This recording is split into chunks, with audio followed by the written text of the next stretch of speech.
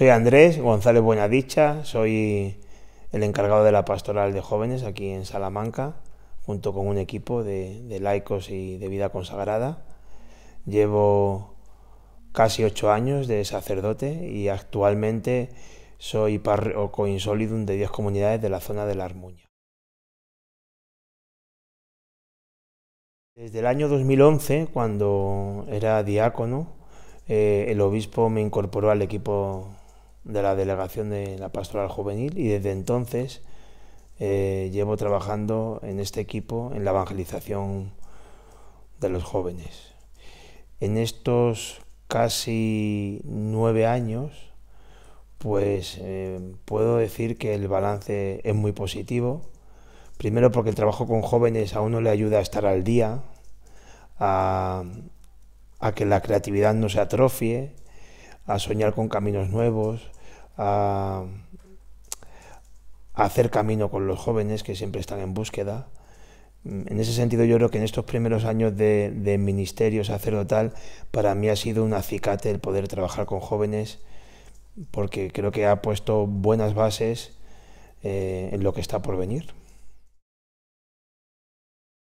Pues esta delegación como funciones tiene eh, animar todo el tejido juvenil de la diócesis en comunión con colegios, con arciprestazgos, con parroquias, con movimientos, con cofradías. Bueno, ese es el trabajo, acompañar también al mundo juvenil y también ser como un instrumento mm, para fortalecer en algún caso, para crear en otro caso eh, el tejido juvenil que hay en la diócesis.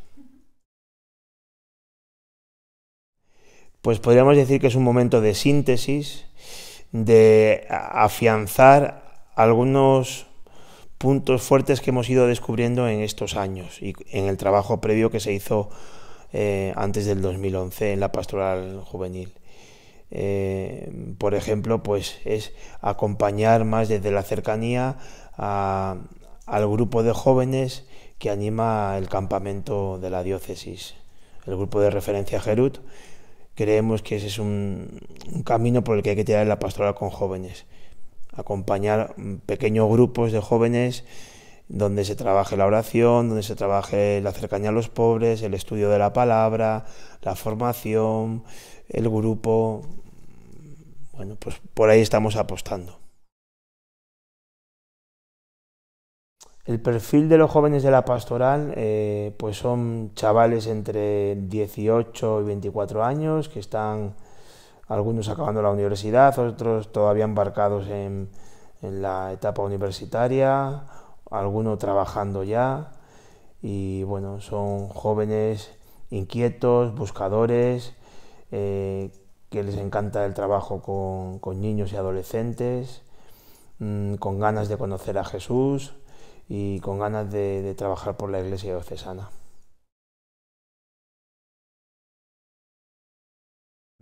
Yo creo que el principal obstáculo para llegar al joven es que eh, muchos de los agentes eh, de pastoral juvenil de nuestra diócesis ya no somos jóvenes. Creemos que la evangelización de, de los jóvenes la tienen que llevar adelante otros jóvenes, de tú a tú. Entonces, pues ahí tenemos eh, ciertas dificultades. También creo que el lenguaje que, tenemos en la Iglesia tendría que adecuarse mucho más al lenguaje del mundo juvenil. También creo que en la Iglesia tendríamos que hacer un esfuerzo mayor por eh, conocer eh, los ámbitos donde el joven se mueve y no tener miedo a transitar por estos ámbitos. Con esto me estoy refiriendo al tema de las redes, el mundo del deporte, el mundo de la música. yo creo que ahí tenemos mm, grandes desafíos para conectar con el corazón del joven. Pues sobre todo nuestros jóvenes piden que, que se les tenga en cuenta, que se les escuche, que no solamente sean ellos receptores de iniciativas y de acciones pastorales, sino que ellos sean protagonistas, que sean los actores, que sean los que lleven adelante las diferentes acciones y, actividades pastorales de la diócesis y aparte que sean acompañados, que sean queridos y, bueno, pues en, definitiva nuestros jóvenes piden lo que también pedimos nosotros, ¿no? Los jóvenes aportan creatividad, aportan entusiasmo, aportan vitalidad, aportan alegría, eh, aportan ilusión, sueños, proyectos, mm, cambio, eh, lenguajes nuevos. Los jóvenes, el corazón del joven eh, es un corazón que podríamos decir que es poliédrico, que tiene un montón de, caras y de, y de sueños y de, y de talentos.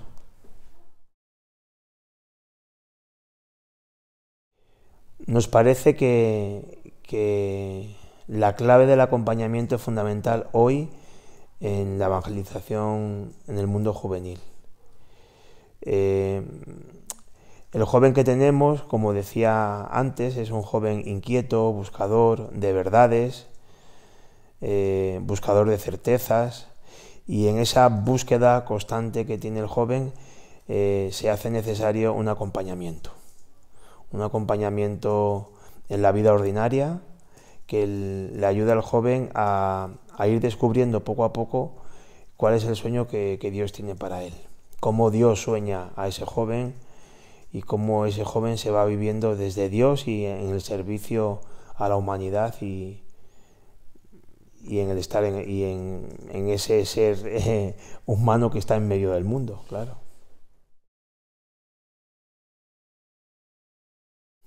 Mm, nos parece fundamental que, que cualquier joven eh, en, la pastoral juvenil que desempeñe alguna tarea en, en alguna de las acciones de la pastoral con jóvenes, por ejemplo los monitores del campamento u otro joven, eh, que tenga un, tenga un acompañante. Casi lo ponemos de condición, que sea acompañado para que él pueda acompañar a, chavales, a niños eh, o a otros jóvenes que están en otras actividades. Entonces, desde la pastoral juvenil se les ofrece a los jóvenes diferentes nombres de agentes que pueden hacer esta tarea de acompañamiento eh, en la vida ordinaria. Pues un acompañante de jóvenes mm, sería como el Jesús del, relato de Maús. Es alguien que se pone en camino con ellos, que, que pasa tiempo con los jóvenes, que no les juzga, que les quiere, que en ese caminar juntos les va regalando preguntas de vida para que ellos vayan descubriéndose en ese sueño que Dios tiene con ellos. Y en el fondo eh, un acompañante de jóvenes es mm, pues al final alguien que, que, le ayuda al joven a calentar el corazón, a encender el fuego que tiene dentro y a que ese joven se convierta a su vez en acompañante de otros jóvenes y cuando está así, preparado, pues, pues le suelta con mucha generosidad.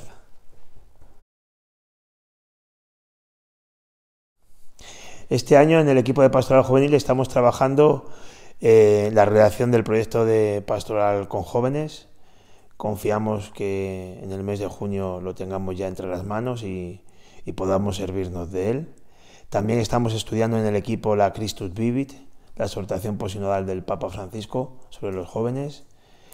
Y, bueno, y seguimos trabajando con lo que hemos venido trabajando en los años pasados, es decir, seguimos acompañando al grupo de Jerut, que a su vez está preparando con entusiasmo el campamento de la diocesano. Seguimos también trabajando con el grupo HANA, que es el que trabaja con los adolescentes, y preparando la, la acción del verano, del mes de julio la ruta Calcuta.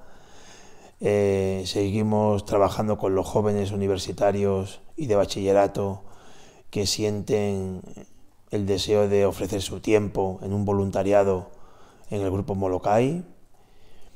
Y bueno, esto es lo que venimos trabajando, eh, también dialogando con las cofradías y también una iniciativa que ya comenzábamos el año pasado y que este año seguimos con ella adelante, que son las comidas cada 15 días, eh, con diferentes grupos que, que vienen trabajando en la pastoral con jóvenes. En estos momentos en el equipo de la pastoral juvenil estamos trabajando eh, en clave de futuro una mayor presencia en las redes. Creemos que muchos jóvenes destinatarios y de aquellos que, están que decimos alejados están en, ese, en el mundo digital, en el mundo de las redes, y entonces del equipo estamos haciendo una apuesta importante para tener mayor presencia en, en las redes. Y también en el propio equipo nos estamos preguntando cómo dar respuesta a, esos jóvenes que han terminado la universidad, que están ya en el mundo laboral que en sus parroquias no encuentran iguales eh, para crecer y madurar en la fe. Entonces, desde el equipo estamos abordando este, este asunto, qué ofrecer a estos jóvenes, poquitos, que hay en nuestras parroquias, eh, para que tengan ese espacio, ese, ese, ámbito donde con otros iguales en edad, en inquietudes, en búsquedas, en momentos vitales, pues eh, puedan tener ese espacio para crecer y madurar en la fe. Ahora mismo es como lo que llevamos en el corazón y como eso que nos está interpelando un día tras otro. Christus Vivit ha sido un regalo para la Iglesia, ha sido un regalo para todo cristiano y yo creo que también eh, ha sido un regalo para el mundo juvenil. Bien es verdad que yo creo que el documento, eh, no sé si ha caído en las manos de todos los jóvenes, pero que lo que se dice en ese documento eh, al joven que lo lea, que lo rece, que lo pase por la mente y por el corazón, eh, yo creo que le, va a calentar. Le va a calentar el corazón, le va, le va a responder a muchas preguntas que lleva. Mm, yo creo que es, un documento precioso que llega en un momento óptimo para, salir al encuentro de, los jóvenes, no solo de nuestra diócesis, sino de la Iglesia Universal. Me gustaría compartir con toda la comunidad diocesana eh, dos palabritas de, de la Christus Vivit. La primera la encontramos en el número 178, donde el Papa Francisco dirige estas palabras a los jóvenes. Amigos, no esperen a mañana para colaborar en la transformación del mundo con su energía, su audacia y su creatividad. La vida de ustedes no es un, mientras tanto. Ustedes son el ahora de Dios, que los quiere fecundos, porque es dando como se recibe. Y la mejor manera de preparar un buen futuro es vivir bien el presente con entrega y generosidad. Y la segunda palabra de, esta exhortación del Papa Francisco son las últimas palabras que, el Papa Francisco eh, dirige en Christus Vivit y que dicen así, queridos jóvenes, seré feliz viéndolos correr más rápido que los lentos y temerosos. Corran atraídos por ese rostro tan amado que adoramos en la Sagrada Escritura y reconocemos en la carne del hermano sufriente. El Espíritu Santo los empuje en esta carrera hacia adelante. La Iglesia necesita su entusiasmo, sus intuiciones, su fe. Nos hacen falta. Y cuando lleguen donde nosotros todavía no hemos llegado, tengan paciencia para esperarnos. Pues es que nuestra Iglesia diocesana de Salamanca necesita a los jóvenes, necesita sus sueños, su creatividad, su inteligencia, su vitalidad, su pasión, su alegría, todo lo que ellos son, lo necesita nuestra iglesia de Salamanca. Y con ellos estamos convencidos que iremos tras las huellas del Señor resucitado.